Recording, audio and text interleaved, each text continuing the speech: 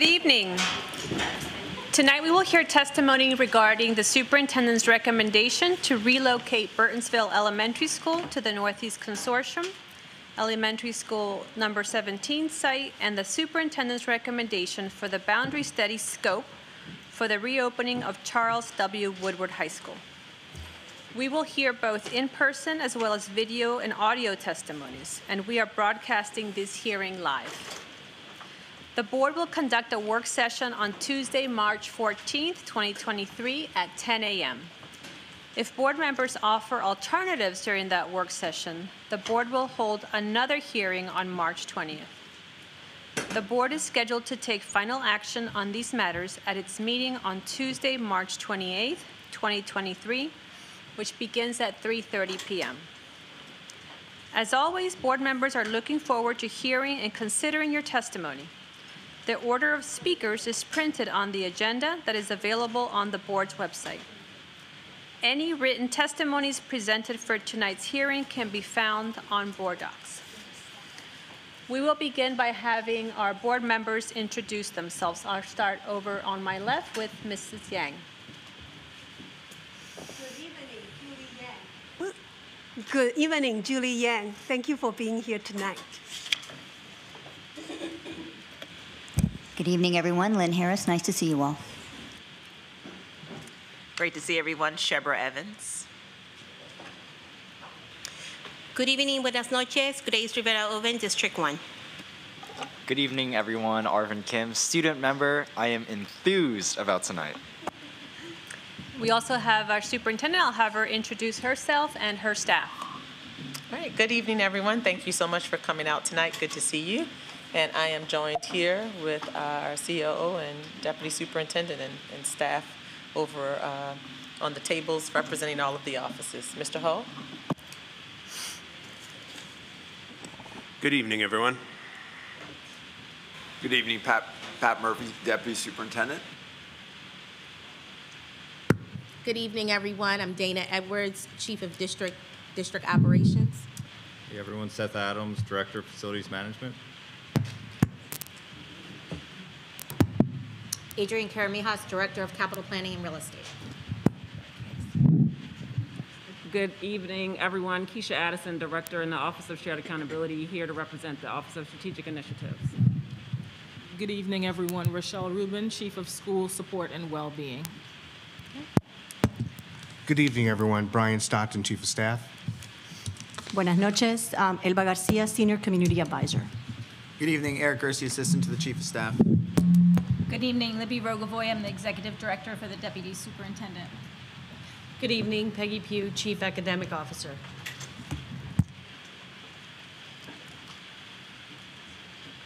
And we have um, our fellow board members, uh, Brenda Wolff and Rebecca Smondrowski, watching from home due to illness. Um, and remind everyone to speak close to your mics, please, because as you can see here, the air is blowing uh, loudly and it's hard to hear if you don't speak close to the mic. So let's begin with our speakers who are here with us in person. When your name is called, please approach the podium and push the flat button below the microphone to turn it on and begin speaking. Please speak clearly and directly into the microphone. Please stay within your time frame because I don't want to have to cut you off. Our first speaker of the night is Samantha Ross. Please uh, come forward.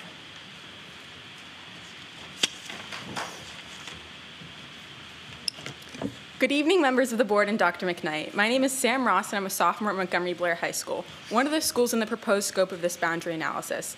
I am here in support of the proposed scope. However, I have a couple contentions with the rollout of the communication regarding the current proposal and concerns regarding the future of the study. I have the unique perspective when it comes to this as a student who has visited and knows people at every high school in the scope, as well as being present at the meeting where this scope was presented and having some of my questions personally answered by board members. However, many of my peers and community members, some of which may be here, don't have easily accessible information on questions such as why Churchill, Wootton, Rockville, and RM clusters are not included in the scope, as they are geographically close to Woodward and suffering from overcrowding. In short, I would ask that MCPS provide answers and explanations to questions that may arise as this scope is advertised and as the study continues, such as if Woodward will be in the DCC, if Woodward will offer a program competitive to certain overcrowded DCC schools, such as my own, and how the study will work to ensure equity. I am happy to see that Walter Johnson will have some of its urgent overcrowding I have seen myself be remedied. However, I am also worried that this boundary change could enhance current segregation we see in MCPS and the greater Down County area.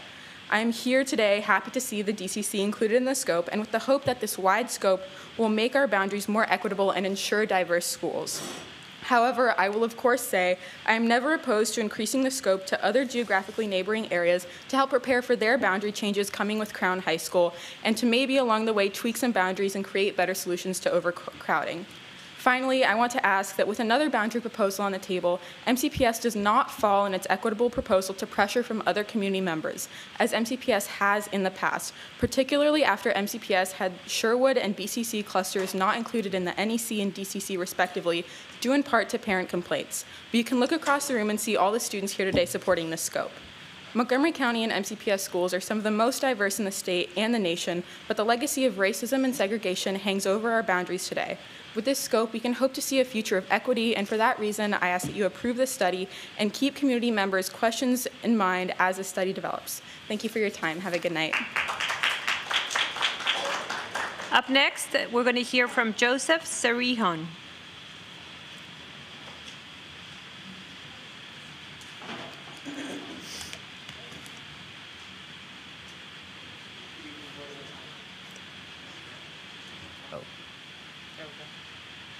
One more time. Good evening, Board of Education members and Dr. McKnight. My name is Yosef Zerihun. I'm a junior at Springbrook High School and a finalist for the student member of the Board of Education. Montgomery County has made immense strides towards achieving an equitable and just school system. Our county is full of diverse students, parents, and educators, yet we still face underlying issues of segregation with our consortiums and boundary lines. We must take the necessary steps towards making these changes rather than, rather than neglecting it to advance for the better. According to a 2019 report from the Montgomery County Council of Office of Legislative Oversight, 75% of all elementary students who identify as Black, Latinx, or English learners are enrolled in high poverty schools in Montgomery County, while their white and Asian counterparts attend affluent schools. This report also generated focus on schools, schools that had high concentrations of students in poverty. The report has shown us that roughly 75% of Latinx and black students were enrolled at these focus schools. And in contrast, roughly 71% of Asian and white students were enrolled at the non-focus schools. We cannot possibly say that the systemic inequalities and de facto segregation do not exist within our county when three quarters of black students, black and brown students attend impoverished schools, while three quarters of white and Asian students attend more affluent schools. Time and time again, statistics prove that integrated schools lead to higher test scores, increased graduation rates, and higher levels of college enrollment. More importantly, they prepare all students to live and work across racial lines without prejudice, regardless of their socioeconomic background. For years, Montgomery County has claimed its dedication towards diminishing the opportunity gap and redefining the idea that a student's zip code should not define their education. I stand before you today with assurance that achieving this is possible. Closing the gap is possible. Making these strides toward a more equitable Montgomery County is possible.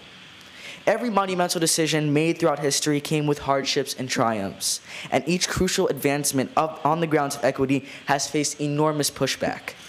As we face similar pushback today, we must look forward to the generations ahead.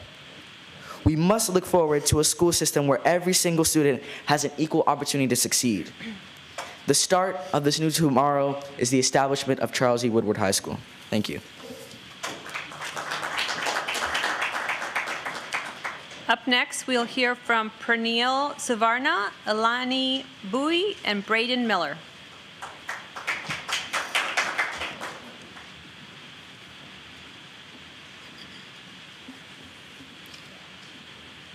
The light's on, so you can begin. Good afternoon, members of the board and Dr. McKnight. My name is Pernille Savarna, and I'm a sophomore at Clarksburg High School. My name is Ilani Bowie, and I'm a, ju- a sophomore at Richard Montgomery High School. And my name is Braden Miller, and I'm a junior at Albert Einstein High School. We wanted to speak with you all today to emphasize the importance of diversity, not just regarding race, but also income as a factor in the upcoming boundary study. All of us have experienced the effects that high diversity has on education, as we currently attend some of the most diverse schools in Montgomery County. In the past year, I've been able to socialize with hundreds of people, learning about different experiences, cultures, and problems that each part of the county faces. Some of my friends live only miles apart from each other, yet their lifestyles are vastly different. However, RM fosters a highly welcoming community that connects these worlds and disproves detrimental and often untrue stereotypes. Other schools that lack this level of connection aren't reaping such benefits. Diversity, both racially and income based, is increasingly relevant to how stereotypes affect our students' perceptions of others. We've seen an enormous rise in anti Semitism and other hateful behaviors that would have been minimized had, schools originally been designed to encourage interaction among different students. It's necessary that all students have the chance to experience the multiple perspectives that we were able to have. Beyond that, we need to address the opportunity gap that exists in our schools. There exist large disparities in household income and in predicted future salaries based on zip code in our county. Within one mile of Woodward High School, average future salaries of children vary from forty to eighty thousand dollars a year at age 35. One of the greatest differences in our county. It's no surprise that under the current system, these two areas are zoned for different schools. This goes to show the fact that, that educational opportunities have on students even years down the line. It is imperative that Woodward High School is reflective of the diversity in the county and will give students from all backgrounds the education that they need to succeed. Thank you. Up next, we'll hear from Faith Na.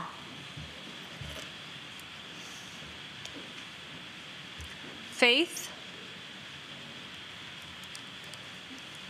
Okay, let's move on to Daniel Sue.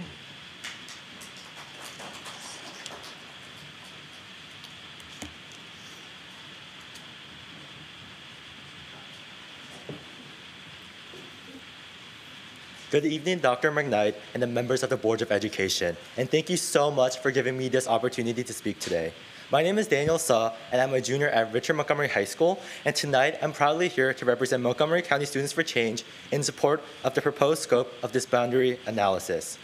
Montgomery County has always been in support of the, the diversity that is in our school system and the inclusivity that we have built upon. This boundary analysis would increase the diversity in schools like Walter Johnson and would champion the ideas of diversity that MCPS is so proud on. The boundary scope of opening of Woodward High School would also address overcrowding in many schools in the Down County Consortium and Walter Johnson that has plagued these schools for many years. I went to Little Bennett and I personally know how bad overcrowding can be. I remember that when I was in third grade, our school had to remove our playgrounds in order to install um, portables for students because we had too much students at our school. And many schools and MCPS, like in the DCC and Walter Johnson area, this is a reality that many students often face. Often, schools need to limit the amount of student parking, playgrounds, and other community areas in order to accommodate, the overflow of students at schools. Overcrowding not only hinders the safety and the mental health of the students by making them feel uncomfortable and unsafe at their own schools, but also hinders the education of these students. Time and time again, studies have shown that larger class sizes leads to um, decreased academic performance because teachers are not able to give the focus that each student needs and deserves.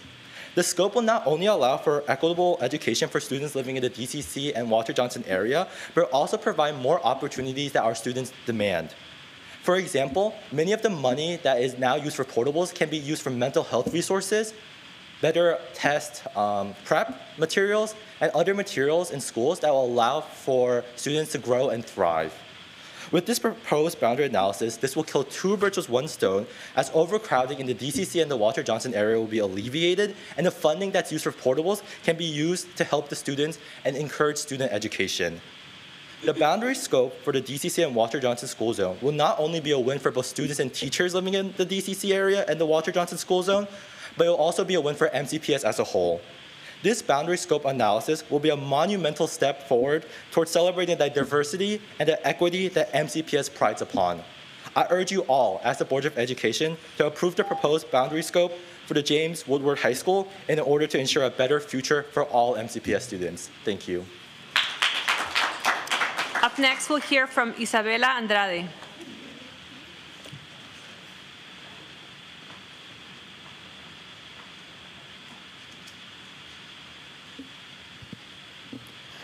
Hello and good evening, Board of Education members. First, I want to thank you for your time today. My name is Isabella Andrade, and I'm a senior at Quince Orchard High School. As we now discuss the reopening of Charles W. Woodward High School, I believe that the reopening of this school will give students in overcrowded schools back the ability to focus on learning and form crucial teacher student relationships. Relationships critical for a student's success. As a student of MCPS, I have experienced the importance of having low student to teacher ratios. This past school year, I was a student athlete taking five challenging AP classes as a junior. Expectedly, my heavy workload demanded precious time and one on one help from teachers to learn the material. For example, in my AP Bio class, my class consisted of 14 students, where this class size was small enough and it allowed my peers and I to create a learning community where we all knew each other on a personal level. We would talk about anything from the latest news to DNA replication, especially. But most importantly, with this small class size, our beloved AP Bio teacher, Mrs. Short, was able to create a teaching style where every single one of us was able to effectively learn. In addition, she was also to create relationships with every student, specifically the ones who needed a little push to break out of their shell. If we want all students to succeed, smaller size classes in MCPS will ensure that all students are able to have the crucial teacher to student bonds. From my experience, low, low teacher to student ratio classes help students like me to be better prepared to take classes in college after graduation. With my testimony today, I urge all board members to reconsider the reopening of Charles W. Woodward High School. Thank you for your time. Up next, we have a video from Soph- Sophie Nguyen. Please play the video.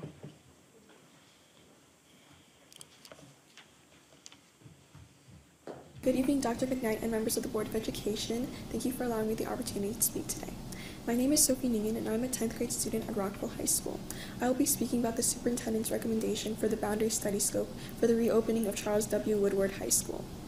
So, personally, I went to the Flower Hill Elementary School where we had to stay in portable classrooms in fifth grade, and this often resulted in us walking outside in cold mornings and several safety accidents when our windows and walls were on the verge of breaking down. We were also figuratively and physically separated from the rest of the school. And this is a true situation for many schools in York County, especially for those in the Walter Johnson region or Down County Consortium. Schools face problems of overcrowding and often have to invest money into additional infrastructure like portables when we could use those funds to academically and emotionally support our students.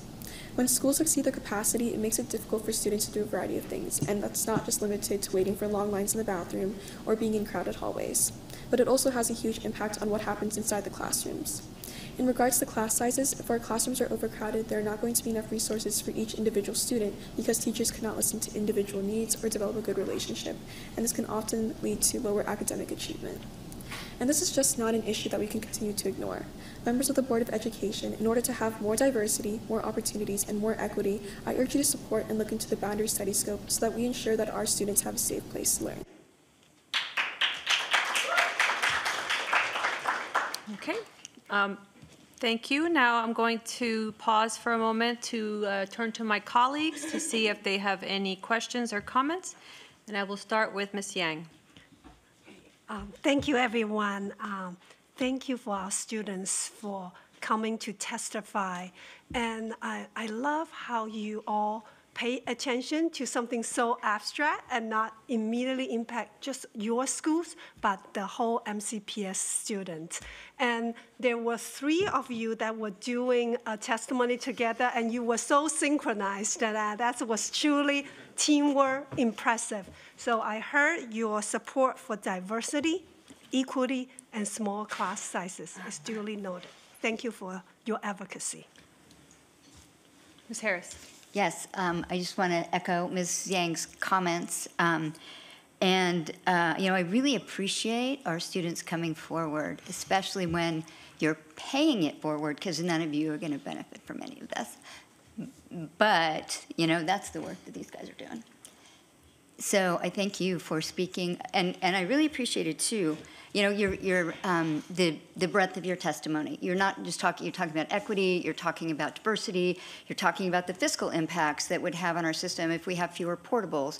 You're talking about the impacts of smaller class sizes on, on mental wellness and, and mastery of content. I mean, you're really talking about so many of the different things that, that we, we struggle with as a school system and that are really, really important to learning because this isn't, this isn't a 20th century school system, it's a 21st century school system. And um, I also very much appreciate the ongoing tradition of our students speaking about a deep interest in increasing the diversity in our schools. Um, and I think that goes back when we first started talking about uh, countywide boundary analysis in 2019. And the students were speaking very powerfully to the need for increased diversity, and the grown-ups in the room not so much all the time. So thank you. Mrs. Evans? Sure, my colleagues have really said all that I want to say. I will say this, I, for the ones that turned in their testimony early, Sam Ross and a couple others, I read them in advance, and so I was very much impressed. As always, not surprised, um, but just as my colleagues have stated, just you all are really taking a vested interest in your education, you're studying, you're paying attention, and I really do appreciate that. So that's all I wanted to say. Good to see you all. And thank you for the signs, too. They look lovely. Mrs. Rivera-Oven? Um, so, as someone who works in the community, um, feeding thousands of families, so who created the, the hub model, first I want to encourage all of you to look at the hub, at the nearest hub near your school to volunteer, because you're speaking not just for yourselves, but you're speaking for for many of your um, of of those students who cannot be here tonight because they're probably working, taking care of their siblings, where the mom's working a second or third job. So you're speaking for them, and I want you to know that. And I, I, um, I appreciate you inspire me every time. You're so poised, you're so eloquent, you give me hope. Um, so I hope you also do this at the county council because there's also a lot of things going on with rental um, uh, caps and so on. Take that passion as well. We need you. We need your voices in this dialogue because you know, because you deal with a lot of those issues. You support a lot of your peers who are going through food insecurity, who are, you know, barely paying the rent. We have communities in this county. We have a trailer park in Germantown. They're feeling that pain. You're speaking for them. So I want to say gracias and thank you for being here tonight and keep up the good work. Mr. Kim? Sure, very briefly. Um, you all know it, and you certainly expressed it today. For too long in this county, uh, systemic barriers ha have really hindered our ability to serve students in an equitable way uh, and, and, in an equal way. And, and, and your testimony certainly speaks uh, to, to, the changes we need to see. And, and the reality is uh, that this is what that revolutionary transformation looks like. This is precisely the work that it's going to take to undo years and years uh, of systemic barriers hindering students from accessing the quality of education they deserve. Uh, so thank you all. It's, it's an honor to serve you all and to call you my peers and, and my friends. Okay. All right, up next we have uh, organizations represented here today, and we can start with our first one, Dan Reed. Please come forward.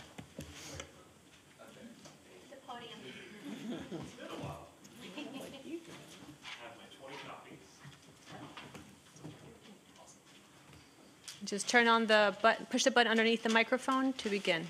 Okay, all right.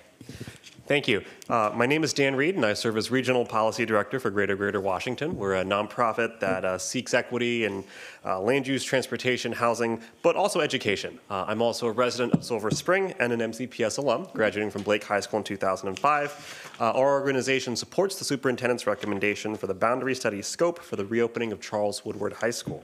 Uh, our organization focuses on creating equitable communities, which we define as a place where people have access to all the things that make life better, one of which is well-resourced schools. We approach this from a housing and transportation lens, ensuring that people live in neighborhoods with well-resourced schools and have safe, reliable transportation to get there.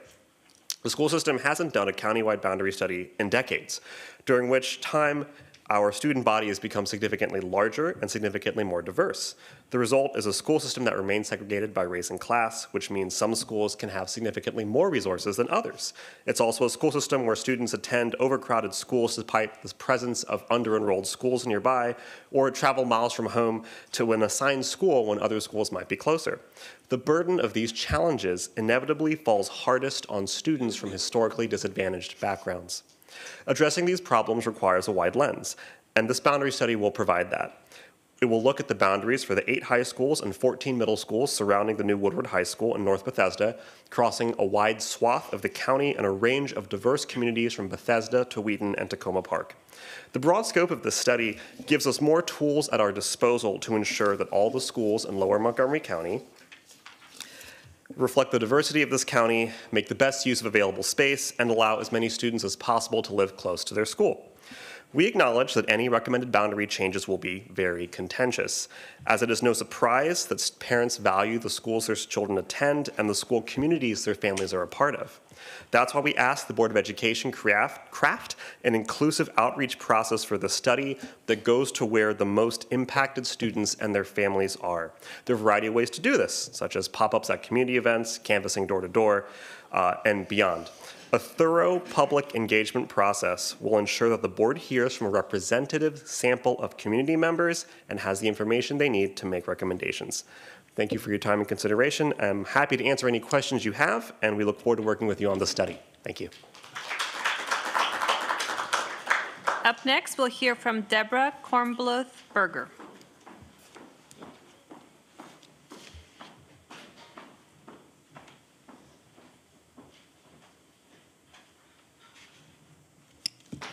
Good evening, Dr. McKnight, President Silvestri, Vice President Evans, and the members of the Board of Education. Thank you for the opportunity to testify regarding the scope of the boundary study for reopening Charles W. Woodward High School. I'm Deborah Kornbluth Berger, and I'm honored here to be representing the Luxmanor Citizens Association. I'm the LCA school chair. I've had three boys graduate from MCPS and graduate from University of Maryland and obtain further education. And I now have a freshman at Walter Johnson High School who's with me today.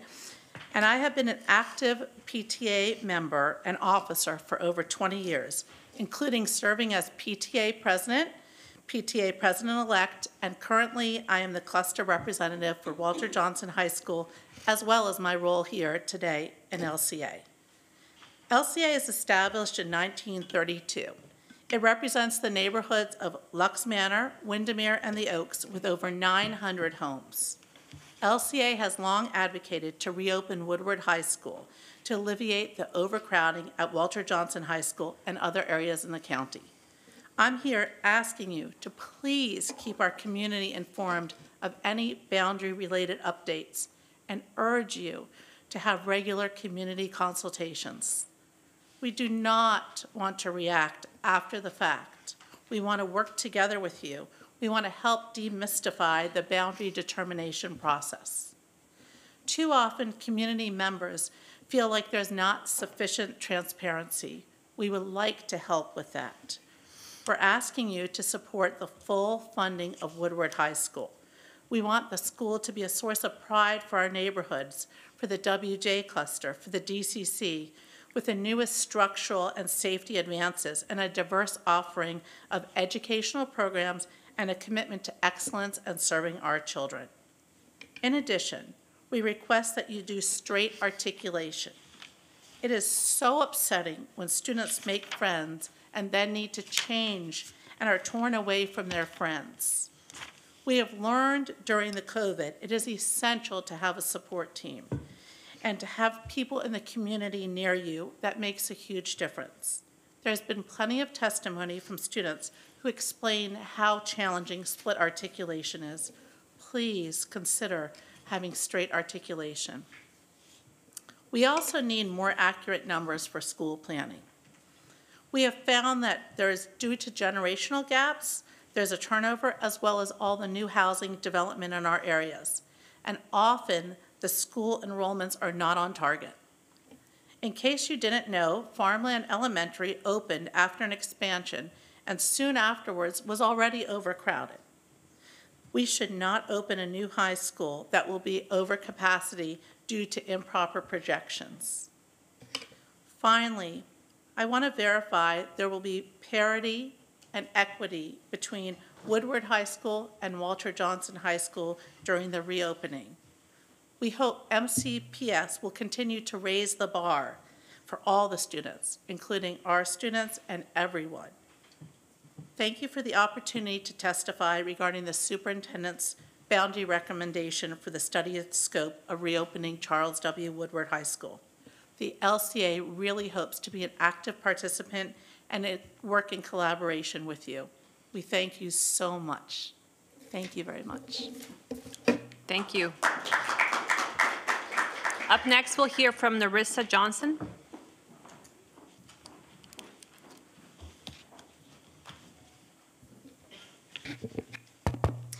Good evening to the board members and also Dr. McKnight. My name is Narissa Johnson, and I am president of the PTSA at Wheaton High School, and I'm also the Wheaton Cluster Coordinator. This evening, I'd like to offer a brief statement regarding the boundary study scope for the reopening of Woodward High School and also the expansion of Northwood High School. I have some gentle reminders, questions, and suggestions for the board and MCPS. Number one, remember that transparency is key throughout this whole process. Tell us about the selection process for the external consultant you plan to use and ensure that they are aware of all the stakeholders in this boundary study and vice versa. Show us the timeline for this project by publishing a Gantt chart. Do not compress the project timeline and certainly do not make any project changes without informing all the stakeholders. Please also allow sufficient time for all parties to review new and existing information. The board and MCPS are aware of the four criteria that they're obligated to abide by in school boundary adjustments and assignments. It would be helpful to know from the beginning if these four criteria will be weighed equally or if one or two will take precedent over the other. And if the latter, what's the basis for this decision? Point two communication. Clearly define all the parameters that will be used in the boundary study scope and communicate that to the public from the beginning. Do not ask for feedback from parents and community members that in turn is ignored. Be prepared to truly listen and incorporate what you hear into your plans. As a parent, I know that when MCPS asks for our opinions, it's often so that you can check a box on your to do list and move on. Please do not do this. Be sincere and thorough in your feedback collection process. And finally, remember that families in general, regardless of whether they live in a single family home or in apartment communities, they all have a vested interest in their local schools. How do you plan to communicate to all these families? Point three, have a clear outreach plan. Please remember to solicit feedback from MCPS staff who work at the schools within this boundary scope. They can provide, provide first-hand accounts of what is working well within an MCPS school and what is not. They too have a vision of what they would like a future school to look like. Consider student input. They also have a vision and they can provide first-hand account of what it's like to attend an overcrowded school. Finally, parents are usually the most vocal group in terms of expressing opinions. How do you plan to conduct outreach to families, especially those that live in apartment communities? And will outreach be conducted in multiple languages? Number four, DCC engagement. The DCC in particular insists that we be considered equal partners for all discussions. Our ideas and opinions must absolutely be given the same weight and consideration as all the other schools and community groups included within the study. Schools with more active and more vocal parents should not get the most attention and resources. In fact, schools and parents should not be fighting each other for resources. We should all be on the same team, which is one that wants the absolute best for every student within MCPS. And do not even consider removing programs that are currently in place within the DCC and move them to Woodward without meaningfully consulting with the respective schools and the community first. Point five, Define the guiding principles for this project. Might I suggest that quality, quality education and facilities, a focus in students, and diversity be the three main ones? Quality public education in a high quality facility should be available to all children in Montgomery County, regardless of their zip code. Include students in every part of the decision making process. They too have opinions that matter, right? I am proud to have been part of the DCC community since 2008. In fact, I know Mr. Braden Miller because he was part of the same Cub Scout pack as one of my sons. That's how deep our roots are. Its diversity, its deep community roots, and its extensive network are truly, truly its strengths. I strongly encourage you to model Woodward and all future projects on building a truly diverse community similar to DCC. In summary, I strongly urge the board to plan for Woodward and all future construction in a mindful manner. Be transparent on everything from the beginning. Communicate clearly throughout the planning process and give equal attention to feedback from all stakeholders. Outreach comes in many forms, so be flexible and open to ideas on how to engage everyone. Use different schools as, as examples of what works well and what doesn't, and certainly do not engage in gerrymandering. And finally, don't forget about the students. They all deserve high quality education in a high quality facility and taught by high quality instructors. Thank you. Thank you. Up next, we have Brian Hooker. Brian Hooker, Randolph Civic Association. Good evening. My name is Brian Hooker, and I'm testifying today on behalf of the Randolph Civic Association. The RCA represents around 1,400 homes in the neighborhoods of Montrose Park, Franklin Park, Randolph Farms, including North Quarter, and Randolph Hills. It is less than two and a half miles from our closed neighborhood elementary school, Rocking Horse, to Woodward High School. In fact, part of our community is in the Walter Johnson cluster, but the majority of our community is in the Down County Consortium Wheaton cluster. The RCA has been active in conversations regarding Woodward High School since at least 2015. Our residents enjoy the many robust opportunities afforded by the DCC. However, we recognize that overcrowding in some of the DCC high schools and agree with planning documents that have identified the reopening of Woodward High School uh, may be able to relieve overcrowding at Einstein and Wheaton High School. Our testimony today has asked the Board of Education to continue the inclusion of Wheaton High School cluster in the scope of the upcoming boundary study. We look forward to the Board of Education and MCPS engagement with the RCA in the future. Thank you. Okay, that concludes our organizations testifying today. Uh, If board members have any questions or comments, please turn your light on. If not, then we can continue to the cluster testimonies. Any questions or comments? Okay, let's move on to our clusters. Um, The first uh, person speaking is Sheila Brook. Please come forward.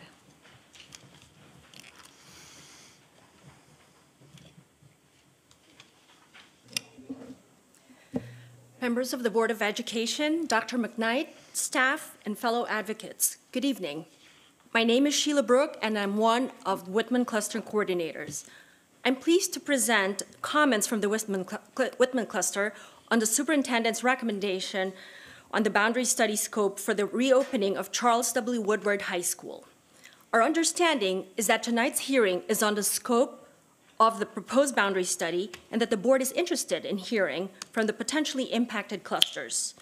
We note that we were surprised to be included in this boundary study as neither the July 2022 master plan nor the October 2022 superintendent's recommended capital budget and amendments to the CIP mentioned that our cluster would be prospectively impacted by the reopening of the Woodward High School. Nevertheless, we appreciate being included in the early stages of this conversation. We acknowledge that discussing boundary changes can be a hot button issue in the county and are grateful for the opportunity to participate from the outset. We will be actively engaged throughout the process, encouraging a productive exchange of ideas and possibilities. Along with our colleagues from the other clusters, we advocate for two very important outcomes. One is straight articulation from elementary through high school, and two, the adherence to the proposed timeline. Straight articulation, with students following a direct path from their elementary school to the middle school and to the high school in their cluster, is paramount. Knowing that they will travel as a cohort through their school career allows students to develop and maintain friendships, which is essential to their mental health and well being. Most students' peer interactions happen in school. As such, building and strengthening friendships in school provides crucial support to students during the significant periods in their lives. The uncertainties associated with movements between schools and clusters will not support students' academic and social emotional growth, nor will it allow the students the stability to strengthen the bonds they have established. Not only are these transitions unsettling and stressful for students, particularly during their formative preteen and teenage years, but also disrupt their educational performance. Preserving a stable, consistent environment that students can rely on helps them gain self confidence and avoids the pressures of trying to adapt to new environments while also tackling a rigorous curriculum. We urge that MCPS carefully consider the impact on our students' mental health and well being during the boundary study. In addition, we applaud MCPS's commitment to parent engagement in their students' education it is well established that engaged parents contribute to the enhanced successes and mental well being of students. Straight articulation contributes to a stable environment which allows busy parents to continue to actively engage in their students' education from elementary school through high school. We support the proposed timeline for the boundary study, with the board making boundary decisions in winter 2025 for Woodward's reopening in fall 2026. Two years will allow for ample time to review the enrollment data and projections, as well as the academic and programmatic needs of the impacted clusters. It is imperative that within that timeline, MCPS continues to engage with stakeholders, including not only the opportunity to provide feedback, but also the active consideration by MCPS of such community feedback in the finalization and implementation of the plans. Obtaining feedback from the community is only one part of the equation. The other part is demonstrating a commitment to transparency, accountability, and communication by truly considering the input and keeping the community apprised of decisions, including justifications for decisions that are inconsistent with community sentiment. By providing the boundary recommendations in winter 2025, the affected students, families, and school staff will have enough time to make the necessary adjustments. The proposed timing alleviates the potential anxiety that the boundary study creates among students and parents alike. We believe that this timeline supports the emotional and academic needs of our students and ask that MCPS keep their interest in the front and center of the discussion. We are aware that MCPS will bring hiring independent consultants for community engagement and technology given the size and the scope of this boundary study, coupled with the forthcoming Crown boundary study in the fall and Damascus thereafter shortly thereafter. We request that MCPS be open and transparent with the community throughout the process of the boundary studies, including any intersectionality. This includes, but not limited to, the hiring of the outside consultants. In this regard, we respectfully request that MCPS select consultants with no historical ties with MCPS and the community to ensure there's no risk of bias from the community's or consultants' perspective. MCTPS has the opportunity to wipe the slates clean and build the trust that is critical to the success of this boundary studies. Thank you so much for this opportunity. Thank you. Up next, we have Laura Stewart.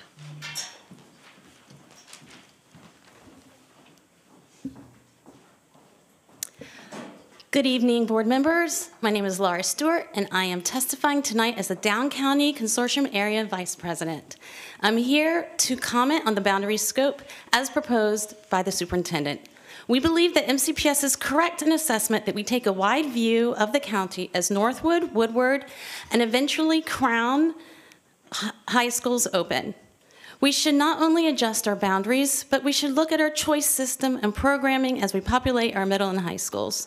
If we look at this opportunity holistically, we can achieve a more efficient and equitable system that will lead to less uneven overcrowding, programming, and opportunities for our scholars in the future.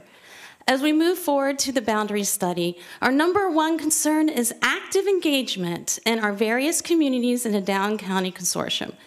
We learned in the last boundary assessment that there needs to be multiple strategies in order to achieve engagement from the whole community. There should be smaller focus groups, a traveling engagement effort that includes knocking and visiting various apartment communities, there should be efforts to reach out to multicultural faith based communities. Communicating in multiple language is key. PTAs can and should be a partner, but we are, should not be the only partner. We also expect for engagement to be done as the process unfolds, not after a plan is already fully hatched. Weight should not be given to a community that simply shows up more often because this could simply be reflective of their ability to be online and available. The student voice should be considered at every checkpoint along the way. They often have fresh ideas and perspectives that can inform the planners. The boundary study in MCPS planning should be done in close partnership with other Montgomery County and state agencies like the Montgomery County Planning Department and the Department of Transportation. This would be a good opportunity to do a transportation study to see the possibilities of later start times for high school students and using our transportation infrastructure more efficiently. Montgomery County Planning should be partnering with MCPS more closely so that we are able to plan for growth and communities in a way that schools are integrated into our walkable and bikeable infrastructure. Safe routes should always be a priority. As you look at the DCC boundaries and possible programmatic solutions to populating DCC schools, and when programming Woodward, please consider the positive school culture in our DCC schools that have been built around long-standing programs. We expect these programs to stay in the DCC. We also need to improve and expand our programming, and we expect parity in programming for both our middle schools and high schools. We have outliers. If you look at the concentration of poverty in our high schools today, exciting Exciting and needed programming opportunities can help even out those disparities through choice as well as adjusting boundaries as we solve our overcrowding in the DCC. More wraparound services and community school models should be implemented as we move forward. The four criteria are important to DCC families. The way they are evaluated should be transparent, as the Wheaton representative has laid out this evening. The one fear I hear in the DCC, especially from Einstein High School, is that they will be boundaried into a less diverse school community. We realize that Einstein is overcrowded and there will be some students that will be moved from the school, but the boundaries of the new school or choice system should reflect the diverse communities that populate Einstein today. Many believe that Blair High School is simply too big and their school needs to, to be downsized, but there must be discussions from the beginning that address how this will be achieved, acknowledging the value of the magnet programs to Blair and the DCC as a whole. Kennedy High School and Cluster has expressed their need to, be, to feel more valued in the DCC. When looking at programming and boundaries, please reach out to the community and take their concerns to heart at Kennedy. We are ready to share why we value the consortium when you visit us in May. We embrace the diversity, the varied opportunities that are available through programming, and the inclusive nature of our school communities. We want to build on this solid foundation and expand opportunities to all DCC students and actually all students in Montgomery County, no matter their zip code or their socioeconomic situation. I look forward to the process and seeing you many times for the next two years. Thank you. Thank you. Up next, we have Jen Sawin.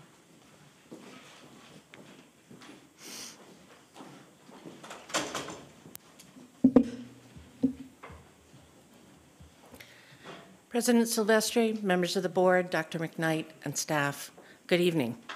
I'm Jen Sawin. I'm a Northwood Cluster Coordinator and parent of a Northwood graduate, and thank you for this opportunity. Thanks also to Seth Adams and his team for bringing you the option of a more comprehensive approach to scoping this upcoming boundary study. Broad scope is broad vision, and we commend it. Reopening Woodward and rebuilding Northwood will certainly be disruptive, but disruptions are opportunities. A broader scope gives you the opportunity to rationalize, Geographically, some of our school service areas look like an old New England farmhouse. You start small and then you add eh, on a room on the side or a room on the back every few years. And it's charming, but it's not exactly efficient.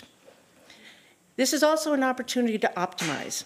Our county is growing, we have a housing shortage, we need job creation. But the kids in the new housing, the children of the new workers, need seats in a school that they can get to. They're often not prioritized. MCPS inherits the capacity issues as the fallout from other people's projects and vision. This is a chance for MCPS to be heard. But MCPS must also first listen. Meaningful stakeholder engagement is crucial. MCPS has an unfortunate history of talking at the community and calling it engagement. You need to put an end to that. You need to preclude simply checking a box. You need to acknowledge that MCPS doesn't have all the answers, and in fact, they don't have all the questions. The stakeholders, the parents, the guardians, teachers, students, residents who value our schools, we're the experts on what we need. We know what we prioritize and what we want for our future. So let me offer some examples of good and bad. Around 2017 or 18, I asked Andy Zuckerman why people were saying they hadn't heard about meetings on this new Northwood thing. At the time, the information was going through ConnectEd to all the Northwood families. But the first graduating class at the new Northwood, they were third graders at the time. They're stakeholders. And Dr. Zuckerman started wider broadcasts. It was great. Second example, not so good. Two years ago, the last week of March, some of us got an unexpected call from county planning asking if we could meet to discuss safe routes and related issues. And that's how we learned that the Northwood mandatory referral was on the planning agenda for Friday, April 8th, the day before spring break. And that's also how we learned that for the past year, planning had been raising concerns to MCPS that the Northwood design fell short for walkers and bikes and transit. Those were the same concerns that Northwood advocates had emphasized a couple years earlier. We had no idea. School staff, no idea. Neighborhood advocates, no idea. So as you plan the scope and engagement, you must not only be transparent and act with integrity, you must be seen to do so. This will help regain trust and respect. So communicate to the public. How will you choose the consultants? How does FAARA translate into metrics? What assumptions are being made about transportation modes, population centers, population shifts? How will program and magnet choices affect capacity, which, as Mr. Adams pointed out, is driving this? How will feedback be solicited? Whose feedback? Where? When? What language? How will it be collected? How will it be considered? How will it be acknowledged? And most importantly, how will it be incorporated? Be transparent and insist that others are as well. Final example the timeline that you saw in February calls for community engagement later this year and the study process next year. And then the dam breaks. A report is available in early 2025, a recommendation in February, your work sessions, hearings, and then you vote, and that's all in February and March, which in my book is still early 2025, which is not much time for us all outside our day jobs to read the report in English or whatever other languages are offered, check in with our local units that we represent, spend some critical thinking time on the findings, the alternatives, recommendations, potential unintended consequences, and prepare hearing testimony.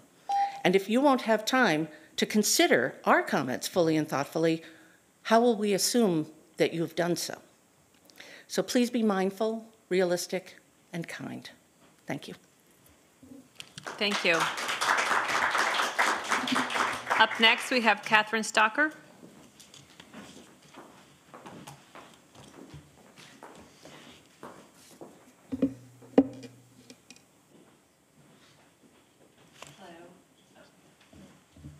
Do I have it? Okay, Yep. I've got it.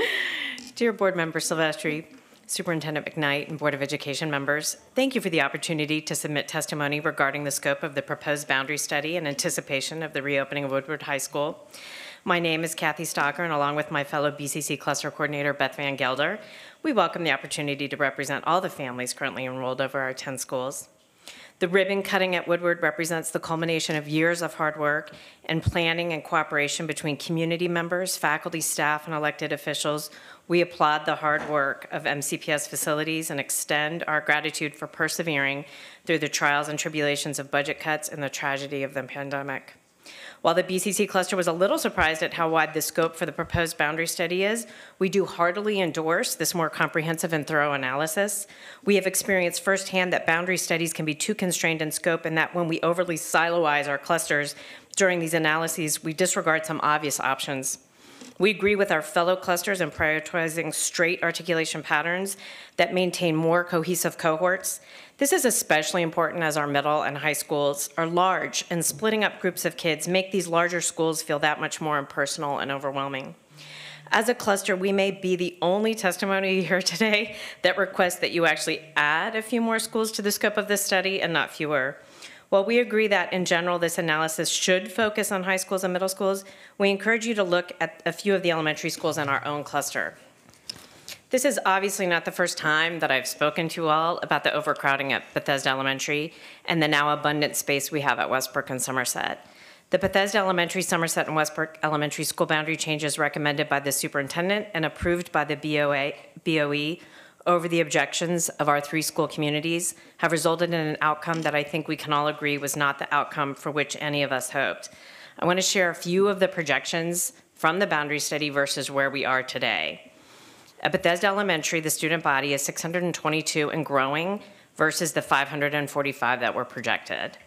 At Somerset, we have 332 and shrinking compared to the 468 that was that were projected. And at Westbrook, we today have 525 versus the 558 projected. So not only is BE still overcrowded, but the FARMS rate is also at almost 20%, and the ESOL or multi-language learner rate is at 21.5%. 78 of those kids are multi of those multi-language learners are English language proficiency levels one and two, so representing the highest need. And BE's special education rate is 10.5% and growing as we catch up on IEPs after the pandemic. This new boundary implementation created more disparity in our cluster, not less, and did not solve our capacity issues. It is self-evident that no one likes the prospect of boundary changes, so you can only imagine how difficult the situation is at BE, that parent leaders who are living amongst even more cranes and more development in downtown Bethesda are considering the possibility that another boundary study is the only way to remediate the inequities generated by the last boundary study. As we are dealing with the aftermath of our most recent boundary study, I would encourage us all to at least salvage some fresh and hard-earned insights from what has been less than a satisfactory outcome. As you all embark on what will be one of the most far reaching and consequential transformations you lead as an elected official, please listen to your constituents. And more importantly, act on what we were telling you. We do not engage in this work because we are bored and have nothing else going on in our lives. We do this work because we want our students and communities to thrive and we want the system to be successful. PTA and PTSA leadership at our schools work hard to engage their communities and understand at the micro level the factors that impact the growth, the decline, and the population at our schools. We want to help you look good if you will let us. None of us have any interest in being bit players in a Potemkin's village of community meetings and hearings that are just for show. I see this moment as an inflection point, an opportunity for you to demonstrate your relevance as a governing and representative body and to reestablish trust between the Board of Education and the communities you represent. I've been fortunate and around long enough to have been included in early feasibility and design meetings when Woodward was still a twinkle in everyone's eye. I appreciated the sincere partnership and outreach from Seth Adams and the MCPS Department of Facilities Management then, and encourage MCPS and the BOE to continue in this spirit of sincere partnership. Transparency, open communication, and active listening will make this difficult task so much easier and has the potential to be a positive, informative moment in the important and necessary relationship between MCPS, the BOE, and all our communities. As always, thank you all for your tireless service and profound dedication to the well-being of our students and families. To you and yours, stay well and all the best. Thank you. Next, we have a video testimony from Emily Beckman. Please play the video. Good evening, President Silvestre, Vice President Evans, and members of the Board of Education. Thank you for the opportunity to testify regarding the superintendent's recommended scope for the boundary study to reopen Woodward High School. My name is Emily Beckman, and I am honored to testify on behalf of the Walter Johnson cluster of PTAs and the families of the over 9,000 students in the Walter Johnson cluster. As you know, we've been advocating for the reopening of Woodward High School to relieve overcapacity at Walter Johnson High School and elsewhere in the region for many years now. We are excited to see the project reach this stage where concrete options for populating Woodward will be discussed and decided. We look forward to participating in the boundary study process and enthusiastically support the goal of robust and innovative community involvement in the development of options for populating Woodward. We also strongly support the superintendent's proposed timeline for the boundary study process, which calls for options to be presented to the board and voted on in the winter of 2025. I am the parent of a current fifth grader who will start ninth grade in the fall of 2026, the year Woodward reopens. I've watched this school year as my child has been preparing for the transition from elementary school to middle school.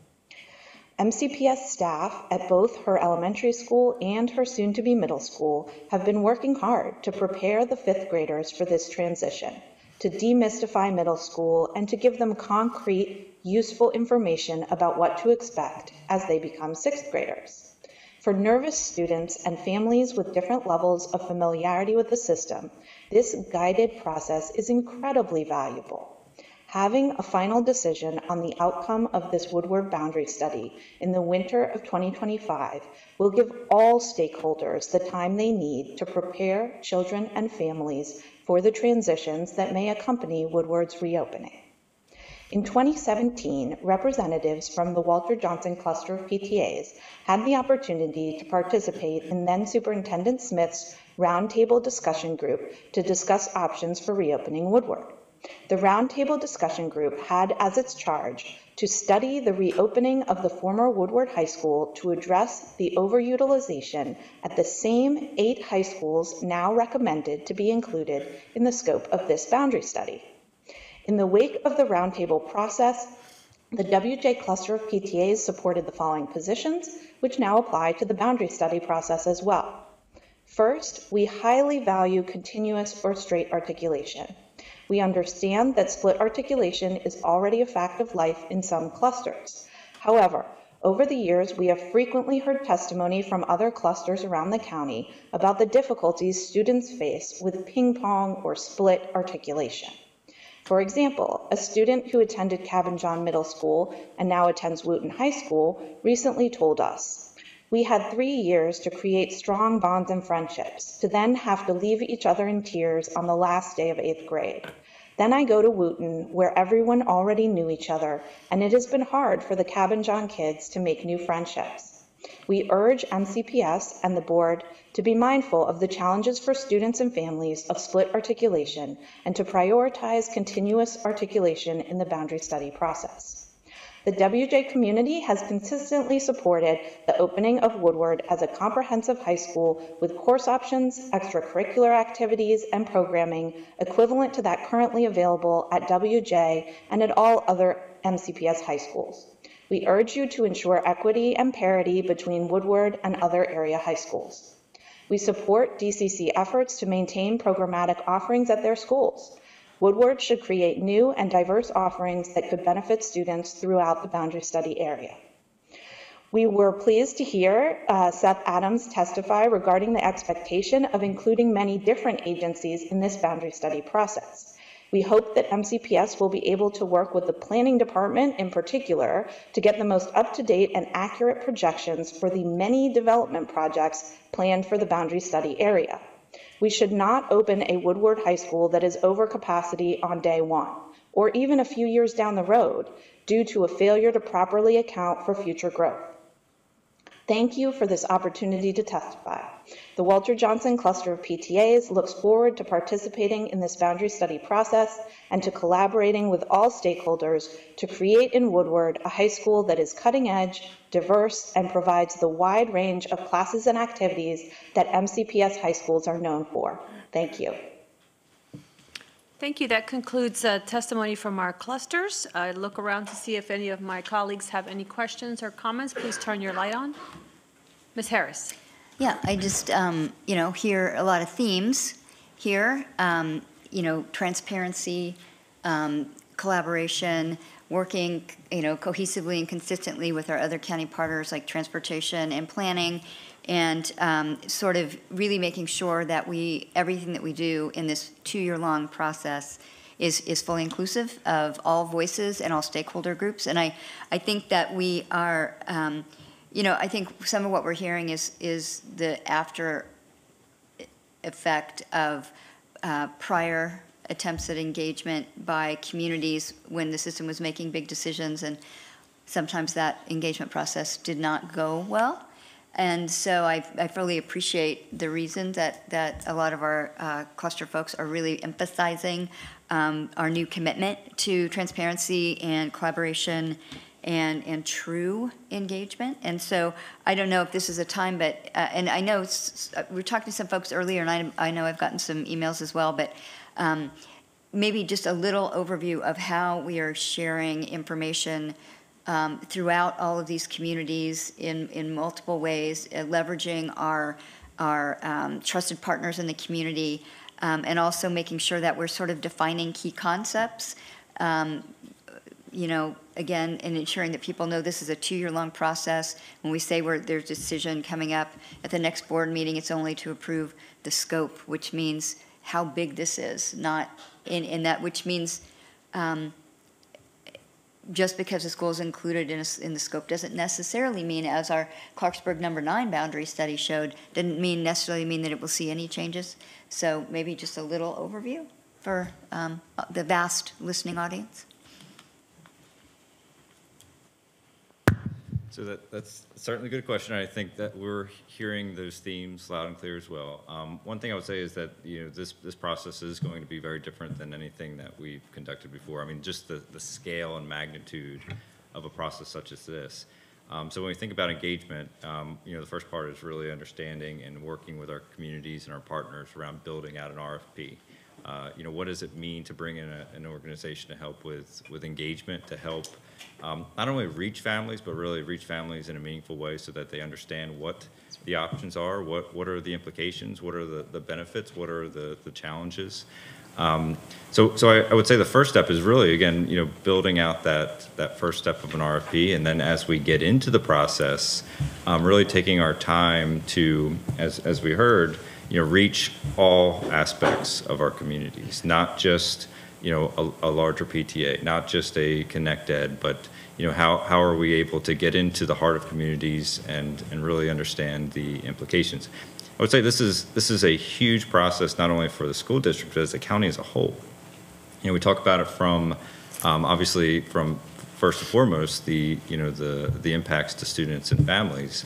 Um, but this has a broad range of, of impacts. You know, you think about it from planning, you think about it from housing, you think about it from economic development.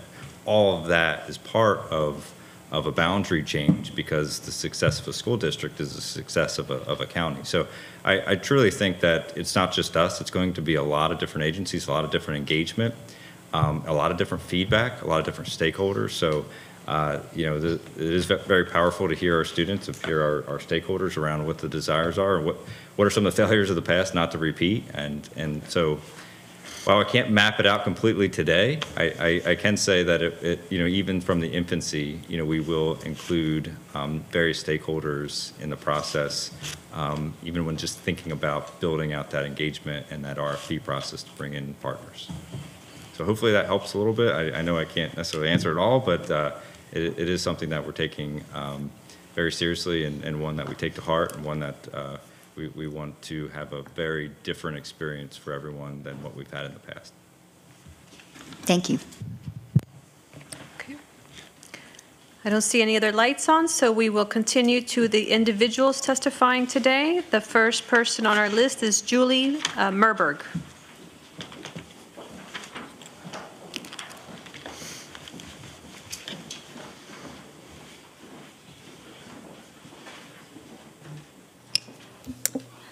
Um, Thanks for allowing me to testify on the boundary study for the reopening of Woodward High School.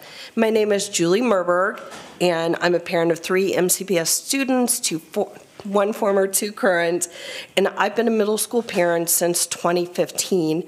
I'm currently my second year as Tilden Middle School's PTSA president, so I am all middle school all the time. I'm very focused on what's going on in our middle schools. So I'm, I'm here to testify to let you know kind of what middle school families are thinking, future middle school families. Um, so I've had countless conversations with parents and students about the reopening of Woodward High School, and the concern that I hear again and again is that children will be separated from their friends.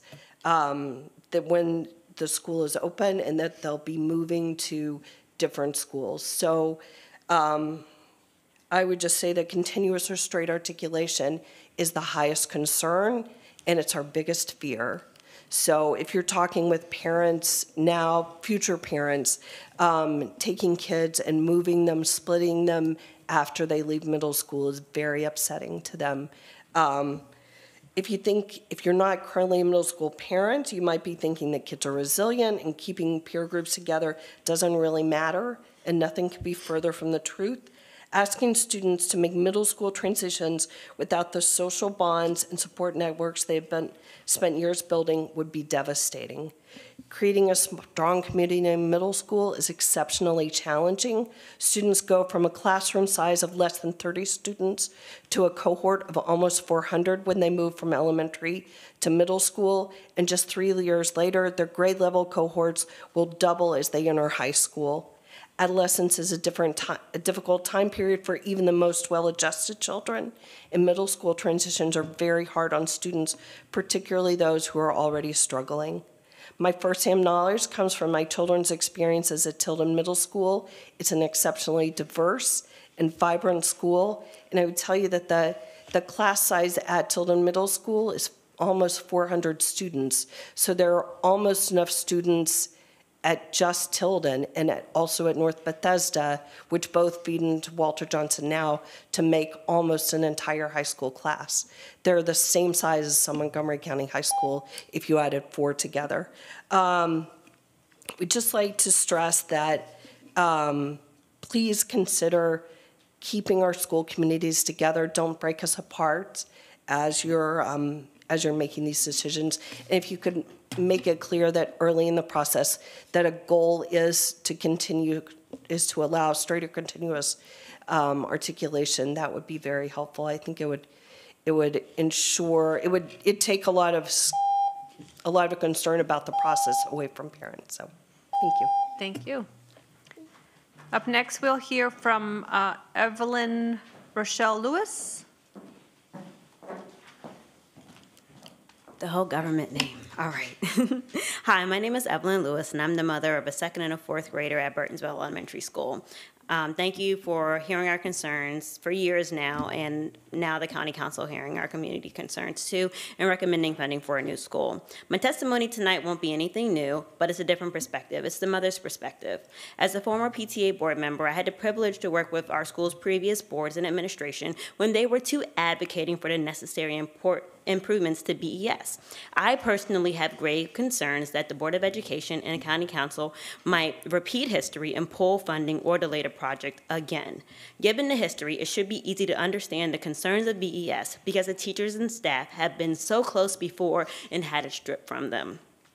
Delaying a project for Burtonsville Elementary School again or defunding it altogether would be detrimental to the school and the community it serves. You may ask, why do I care? My kids will be in middle school by the time the new building opens. I care because the teachers deserve better, the staff deserve better. Some of these teachers and staff have been there for over 20 years. I care because the students deserve better. These students depend on us as the adults to give them the best start possible. I care because the community deserves better, a community that's been ne neglected for 20 years. In the school's current situation, our littlest ones are disturbed daily from 10 to 2 p.m., with the lunch line extending down the kindergarten hallway. I give the teachers credit because they keep the kids focused, even with the noise outside their classrooms all day long. Imagine daily, okay, students, Let's try not to focus on the noise in the hallway. Act like it doesn't exist. You say that five times a day, five days a week to five and six years old. That's like that's not manageable. For those students that are waiting in the hallway for the lunch, sometimes it could take them 10 minutes to get through the lunch, that one lunch line that they have. Students may have 10, maybe 15 minutes to eat their lunch. How many of your students at home can eat a solid meal in 15 minutes? It's almost impossible. I said, so essentially delaying these, delaying funding or stripping the project is just telling our kids, just deal with it. You'll be okay. You'll survive, right? For years, the school has done an amazing job navigating an assembly one in the morning, one in the afternoon, because we don't have the space. Kindergarten and second grade will sit on the floor, the floor that they'll eat lunch on later, because there's no space for them to have the assembly. Then after lunch, hurry up and clean up. Third grade and fifth grade will sit on the same floor so that there's enough space to accommodate an assembly. That's doing a disservice to the presenter and to the students because there's no way that a kindergarten kindergartner is going to receive that same material that a second grader is going to receive. We're going to have career day at the end of the month. Kindergarten through third grade are going to have the same presenters because we don't have the time nor the space because we're navigating lunches and navigating having to fit. Fourth grade is so huge, fourth grade and fifth grade are then combined. That's not fair to the students. So, I, you know, I thank the teachers and staff at Burtonsville Elementary for what they do to our kids, for our kids daily. They're uplifting, they're selfless, and thank you guys for listening. Please fund Burtonsville Elementary. Thank you. Up next, we'll hear from Brandon Conway.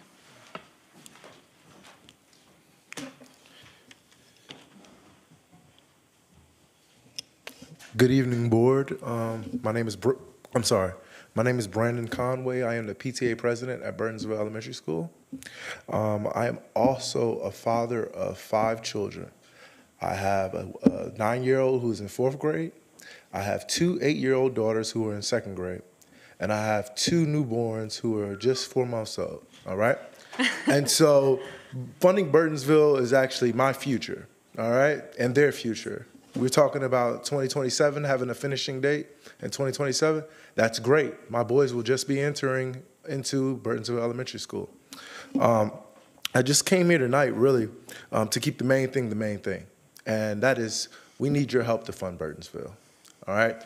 You heard from Evelyn, and I know you guys heard from us before, and so we're not here to state a ton of facts um, over why we need this school.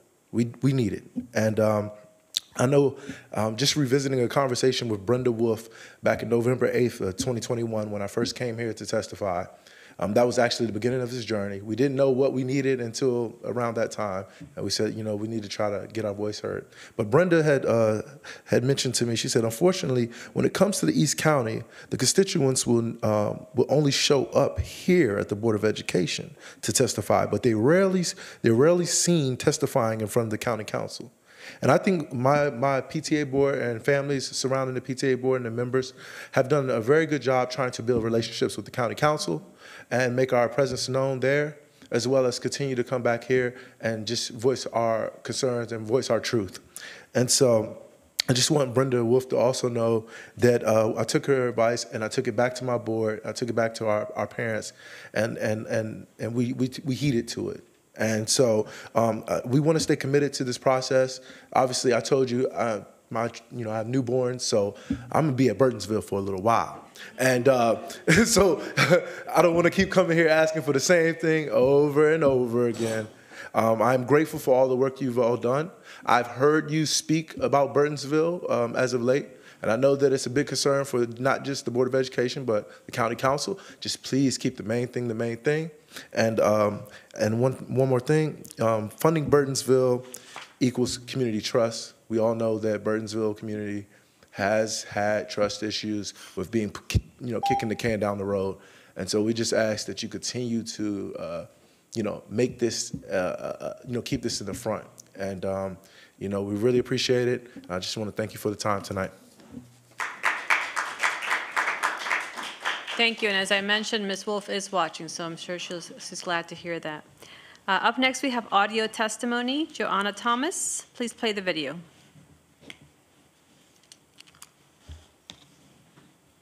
School Board President Silvestre and members of the board, I'm here to speak about the proposed replacement school for Burtonsville Elementary. While I appreciate the effort to provide a new and updated facility for our community, I am concerned about the delay in equity in facilities. It is important that the new Burtonsville Elementary School is designated to meet the needs of all students, regardless of their background or socioeconomic status. However, there is a concern that the replacement school will not be completed for several years, which means that the students in the area will continue to attend an outdated and unsafe school zone for an extended period. For example, there is currently no school zone sign, as well as a needed stop signs on the campus. This delay in equity and facilities for our community is concerning as it means the students in the area will not have the same high quality facilities and resources as in other schools. This could have a negative impact on their education and future prospects. Moreover, the delay in equity and facilities could perpetuate the achievement gap that already ex- exists in our education system. Students from disadvantaged backgrounds may not have the same access to resources and opportunities as their peers, which could limit their potential and hinder their success. Therefore, I urge MCPS to prioritize the timely completion of the new Burtonsville Elementary School to ensure that all students have access to high quality facilities and resources. Delaying equity in facilities for our community is unacceptable, and we must work together to ensure that all students have equal opportunities to succeed. The replacement school is what our community needs, and we are so thankful for this. But we must not lose sight of the current conditions that the students and staff endure daily. Thank you for your consideration. Thank you. Our final uh, testimony is also a video uh, from Jason Maxstein. Please play the video. Hello, my name is Jason Maxstein. I'm a father of three young children, one in MCPS. I was a 13-year MCPS student for my entire K through 12. You may also know me from my blog, Moderately Moco. I'm testifying about the lack of public notification of recent board meetings, as well as about general boundary change issues. the Maryland Open Meetings Act states that public bodies must give the public adequate notice of those meetings. This has not happened for the meetings dated March 7th and this one, March 9th. Previously, the MoCo BOE Twitter account would publicize public sign-up forms multiple times before meetings. However, as you can see in my written testimony, the Twitter account stopped tweeting these out after February 15th. In fact, the account hasn't tweeted since then. MCPS itself does not provide an advance notice or public sign-up forms. This means the last two meetings had no public, formal public notice at all. If even I can't keep up and know when to submit testimony, how can your average parents that aren't as keyed in as myself? Regarding boundary studies, I would like to remind members of the results from the MCPS district-wide boundary analysis and my personal experiences as an MCPS student. The final results of the boundary study show the priorities ranking from respondents about what is most urgent for MCPS to, to address when considering future boundary changes. The order ranked as follows based on respondents who answered the priority extremely important. Note that these are not my own order of priorities, but the results of this long-term and expensive study. Ensure students, students attend closest school to home, 87%, extremely important. Minimize number of students affected by boundary changes, 82%. Minimize boundary changes, 79%. Cohort stability, 75%. Maximize walkers, 73%. Ensure schools are in the target utilization range, 19%. Balance diversity among schools, 10%. Now, you may be wondering what my interest in boundary study issues are. It's because poor planning on behalf of MCPS in the past regarding these issues greatly impacted my life as a kid, and it's why I got into local advocacy. In the middle the late 1990s, there was a new development called Kentlands with lots of new homes and students, but they didn't have schools until many years later. My elementary school was zoned for a much further away new middle school instead of the one right down the road. Unlike many of my peers, my parents both worked full time, so my only transportation was the bus. My bus ride was about 30 to 50 minutes each way, and then I would get home and still be alone, where I got into trouble without supervision. I couldn't do extracurricular curricular activities. My parents couldn't participate in the PTA. I was excluded from participating in TV crew along with other sports activities and clubs. But I did okay in middle school. I made a bunch of friends. However, when I got to high school, I essentially started over with no friends, despite going to MCPS for all 13 years and not moving. I had trouble joining clubs without previous experiences in middle school, including student government. This greatly impacted my life and is what made me the advocate I am today to try and make sure future MCPS kids don't have to go through what I did. Thank you. Okay. That concludes our testimonies for tonight, so I will, uh, if you have any comments or questions, board members, please turn on your lights, and I will start uh, on my left with Mrs. Evans. Sure. I just want to once again thank everyone for coming out, and particularly our students staying to the very end. Appreciate all the um, testimony that we heard from the Burtonsville community. I want to say congratulations to Mr. Conway on your recent um, newborn twins. My goodness. So I'm glad that we'll have you around for quite some time. And I will say that thank you to um, Ms. Wolff, who, as Mr. Silvestre said, is watching, to you um, heeding her advice, because I saw recently where you and the other board members on your PTA received a proclamation from the county council. So I would say that you have been heard and um, you all were recognized for all your advocacy in support of the Burtonsville elementary community. So I just wanted to acknowledge you and say that and that you went to the right place because we will get our funding from the county council. And um, we want to ensure that all of our schools are um, conducive to learning for our students. So just appreciate you, want to acknowledge you. And also, um, um, Evelyn, Evelyn, I won't say your whole government name. I heard you mention that earlier. I appreciate you um, coming as well to give testimony. We, we um, love our parents to be engaged and involved. And um, it's Women's History Month, so I will, I want to acknowledge your wife and the other wives of the men on the PTA board, because you said the county council that you all were doing it because you were told by your wives to do it. So just wanted to um, say thank you and um, celebrate your, your wives. Thank you. Ms. Ms. Harris. Yeah, I just wanted to say it's very nice to see you again. Um, You know, Mr. Adams and I uh, were at a- a meeting at at Burtonsville Elementary a little less than a year ago, and I really appreciated hearing your perspectives at that point. And um, I think we are very, very committed to making sure that you get your new school on time. Okay. I just wanted to um, thank all of you for coming out here tonight, students and parents, uh, for taking the time out of your busy schedule on a Thursday night. Everybody's got to go to work and school tomorrow, so appreciate you being here. And yes, uh, Ms. Stewart, this does begin a long process of uh, seeing each, a lot of each other uh, in this public engagement that is much needed. Mr. Adams, um, if people want to learn more about the process, the plan, is there somewhere on the website that they can go and, and look to see when, the timeline for all this will, uh, how, when it will take place? It- Currently, we, we have quite a bit of information on our, our long-range or our, our capital budget and planning webpage under facilities.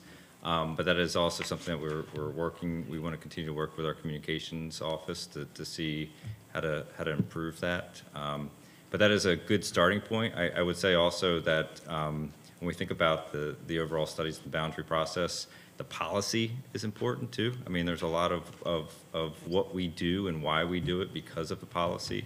Um, so uh, we'll, we'll create some links so that folks can see what that is, what the, what the language reads around the different factors and those sorts of things. But um, I, I think, I think that is important as you, as you look into this because everything we do is going to be guided by that policy. Um, But that information will be on our, our website for folks to see. And So if I go on the website tonight, enter search, what keyword should I put on the search? You can just type in facilities and, and it'll come up on uh, the, the the sidebar that shows. Woodward, Woodward Facilities, or?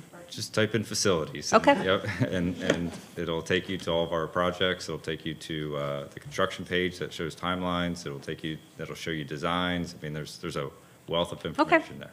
Great, thank you for that. All right, well, I don't see any more comments, so I want to thank everyone for coming here. Dr. McKnight, did you have any closing comments? Thank you so much. I also wanted to thank everyone for coming. Um, Our students, I mean, it- uh, this was just amazing to see you coming forward. I know uh, Mr. Kim and I have had many conversations about just over years in history, and we think about boundary. It's just an opportunity to strengthen student voice, and so, I mean, it's like this come to reality, so we appreciate the perspectives that you brought, and I look forward for, you know, to us continuing to hear from our students, to our parents. Um, Thank you for sharing your narratives. Um, As you talked about thinking about the student experience, we always center that, and I know that there is lots of planning and discussion that go on in households around the experience that students desire, so thank you for sharing all of um, your perspectives. We appreciate it, and we do look forward to con- continuing our commitment around projects that we've started. We've talked about the importance of consistency and rebuilding trust with many of our communities um, that we know have been impacted by a lack of trust over the years. So I'm so proud to be a part of working with the Board of Education that continues to commit to rebuilding that trust. Um, I've spoken about that constantly as the superintendent and the staff. Um, and so we do look forward to embarking upon a new day, a new journey in terms of how we work with our community and um, really take into consideration the feedback, the thoughts, and keep the lines of communication open throughout their entire time so that everyone can be updated and be a part of the process and most importantly, most importantly, a part of the success when we're able to achieve these things that we all care about for our children. So thank you so much. We appreciate you. All right, and with that, we are adjourned.